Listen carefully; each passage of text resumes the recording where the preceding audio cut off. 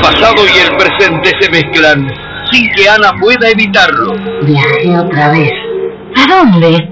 Si no te pueden trasladar sin orden judicial. No, viajé en el tiempo otra vez. Pero es su paciente, doctor, por favor, se lo Ana era mi paciente. El supermercado se cerró. Definitivamente, por culpa de, de Mariano Ocampo. Hay que recuperar todo el tiempo perdido. El supermercado que cerrado. No hace seis meses.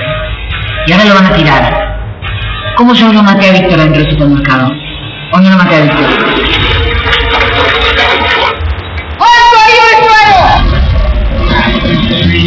Un año para recordar.